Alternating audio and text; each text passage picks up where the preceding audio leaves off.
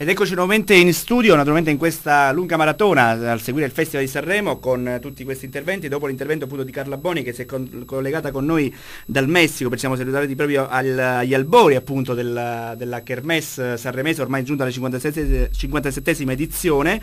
E dopo tutti gli interventi finalmente siamo riusciti a raggiungere invece una protagonista un, del festival appunto del 92 che eh, nella sezione nuove proposte in coppia con Leandro Baldi ha um, vinto appunto la Kermesse per quanto riguarda le nuove proposte, eh, l'anno in cui Barbarossa vinse con Portami a ballare con la partecipazione della compianta Mia Martini con Gli uomini non cambiano e La forza della vita di Paolo Vallesi.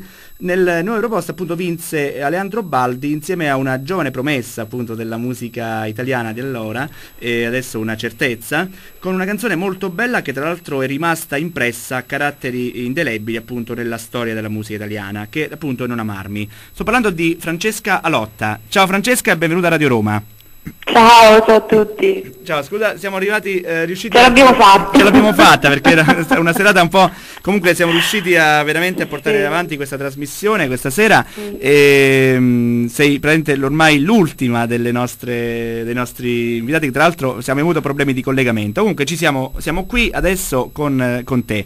Eh, innanzitutto eh, tu hai vinto questo grande questo festival con questa canzone veramente che eh, ti ha consacrata appunto sull'altare appunto della musica leggera italiana.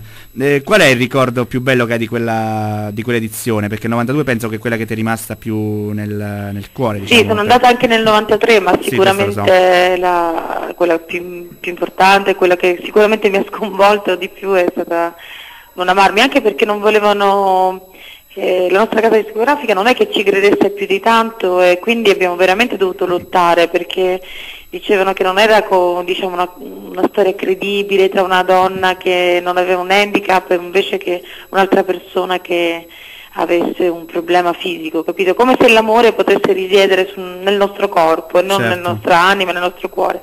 Quindi già abbiamo dovuto veramente lottare convincendo i nostri discografici, tranne il nostro grande Mario Ragni che era il direttore artistico ed è stato lui il promotore di questa cosa, che ha creduto in noi dal primo momento.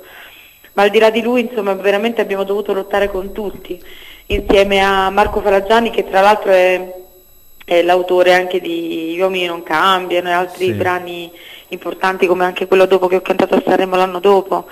E, tra l'altro nello stesso nostro... anno cantò Mia Martini, tra l'altro Gli uomini non cambiano. Sì, sì, infatti. Eh. E poi il produttore era Giancarlo Bigazzi, il grande Giancarlo certo. Bigazzi, e tra l'altro... La grande scuola un... toscana, quello era un periodo in cui... Voglio fare un certo. grande applauso al, ideale, insomma, a Marco Falaggiani e al Bigazzi che hanno praticamente prodotto questo nuovo ragazzo che è Fabrizio Moro, e che, che ha vinto che adesso vinto nella sezione giovane, quindi veramente sono strafelice per, per loro perché se lo meritano. Eh, tra l'altro Marco Falagiani è stato mio fidanzato per cinque anni, quindi diciamo che c'è un rapporto molto particolare, sono molto felice perché è una persona meravigliosa, quindi si meritano sicuramente un grande, grande eh, successo, anche il ragazzo veramente lo merita perché ha fatto una tenerezza poi vedere insomma, che eh, ha dovuto fare di tutto per mantenersi eh, questa è un po' la storia un po' di tutti eh, agli inizi. Insomma, Comunque, guarda, il vincitore di sera Fabrizio Moro, prima abbiamo già parlato moltissimo proprio durante la trasmissione uh-huh. e devo dire che eh, è stato un po' un vincitore eh, plebiscitario perché effettivamente eh, c'è stato un sì, margine sì, incredibile tra gli... Vi raccontavo proprio Marco Faraggiani di, di, che è stato veramente una cosa mm, che non c'è stato assolutamente nessuna storia, nel senso che ha avuto tutti, quasi il 60%, insomma una cosa impressionante di, di voti, per cui non, veramente incredibile. Sì, sì, una grande, veramente, era il vincitore proprio annunciato, ma proprio per mm-hmm. qualità, proprio c'era un'arcia in più, l'hanno detto sì. tutti. Poi tra l'altro la cosa bella è che prima abbiamo per esempio avuto in diretta Romina Falconi, che insomma ha partecipato anche, e tra cui anche invece l'autore di eh, Centomo, tutti, mm. la cosa che ho notato è che non c'è stata nessun tipo di rivalità, erano tutti quanti, hanno, hanno riconosciuto perfettamente... Io devo, devo, fare veramente un, anche se purtroppo temo non mi sentirà, sì? ma mm, veramente un grande applauso da parte mia La stimo moltissimo, una grandissima artista, una grande cantante, Romina Falcone, veramente mi ha colpito la sua anima. Guarda, Romina l'abbiamo avuta ospite proprio verso sì. le 21.30 all'incirca. Sì. Sì, io spero che mi stia ascoltando, che veramente le faccio dei grandissimi complimenti e l'ho vista ieri, ero alla International a commentare un po' eh, appunto Sanremo l'ho vista l'altra sera, insomma, quando ha cantato due sere Se adesso non ci ascolta, comunque li faremo direttamente noi perché nel prossimo settimane sarà ospite qui da noi in radio. un grande cuore, una bella persona e quando si è belle persone sicuramente si è in grado di trasmettere più, più emozioni perché si è persone vere. Certo, senti invece eh, una cosa eh, Francesca, sì. perché tra l'altro eh, diciamo che ritornando al tuo grande successo appunto di quell'anno, e sì. questa è una canzone che tra l'altro er, tu quell'anno eri considerata un po' la nuova, la, la più preparata, proprio nuova promessa dell'anno. E tra l'altro fu la, l'accoppiata, com'è? Dicevi, no, è vero? Non sapevo di questa cosa. Sì, perché è stata proprio l'accoppiata appunto tra un uh, non vedente molto talen talentuoso e, uh-huh. e invece eh, poi insieme alla più preparata nuova promessa dell'anno, queste sono le critiche, questo dicono. Eh, Dai, è una cosa, è stata forse questa accoppiata, poi all'inizio forse in cui pochi credevano, questa accoppiata che è stata vincente. Tra l'altro la Leandro no, Baldi è una grande credevano voce. perché ripeto, eh, la cosa assurda che nel 92 ancora si credeva che mm, non fosse possibile un rapporto tra due persone in cui magari appunto cioè, uno dei due avesse un problema fisico, insomma veramente era, ah il cieco e la bellona, mi sono sentita dire anche queste cose, queste cose assurde, no? che sono veramente eh, degradanti, cioè, ti, non, ti, fanno capire che la, purtroppo la maggior, molti discografici questo lavoro non lo, non lo sanno fare, non lo fanno col cuore ma è come se vendessero saponette, purtroppo la verità è questa. Sì, poi forse e è vero che in Italia a volte sono più produttori discografici che impiegati delle poste, però so, quelli li chiamerei quasi pseudo produttori alla fine quelli veri che sì, credono veramente nella... Ma do, purtroppo è questo, ripeto, io quando penso che questo mestiere, questo lavoro bisogna fare un grande rispetto, io ho avuto un padre che era straordinario, purtroppo non c'è più,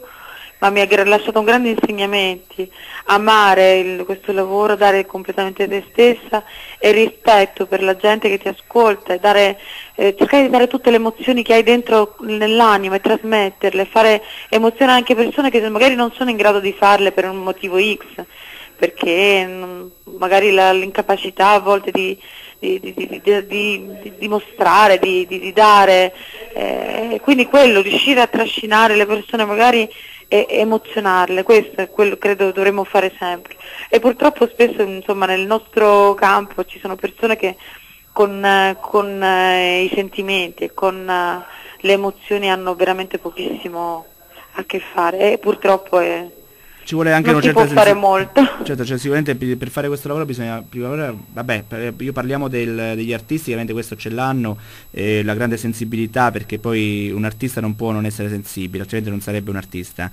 E invece, e invece purtroppo spesso i produttori diventano più mercenari che, eh, e soprattutto mm. legati al business che eh, alla, alla, vera eh, sensibilità, alla vera essenza di quello che è appunto la, la mm. trasmissione dell'arte e alla fine eh, purtroppo ci sono a volte delle scelte di, diciamo, sbagliate di valutazione.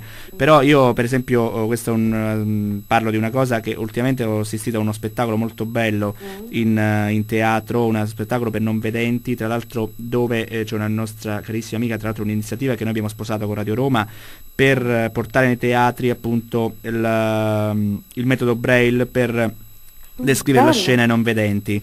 È una cosa molto, molto bella, tra l'altro fatta dall'attrice Tiziana Sensi che eh, portata avanti questa iniziativa che noi abbiamo sposato eh, tranquillamente come, mh, mm, per, come, appoggio appunto a Tiziana, ne parleremo proprio nelle prossime puntate qui a Radio Roma, ho, approfitto di questa parentesi molto, che questo discorso è venuto fuori. E veramente aiuta sicuramente molte persone ad avvicinarsi anche al teatro che magari appunto purtroppo ci sono dei, dei, dei problemi fisici che ma addirittura cioè, ti dico che Tiziana Sensi ha portato in scena proprio al Teatro Colosseo proprio qualche mese fa uno spettacolo molto bello eh, proprio realizzato da non vedenti perché lei ha aperto proprio un laboratorio teatrale per non vedenti.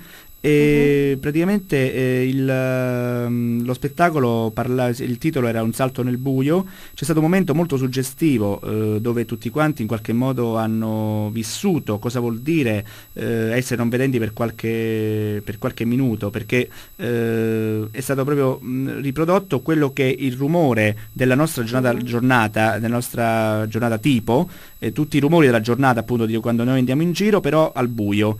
E questo è stato come veramente un salto nel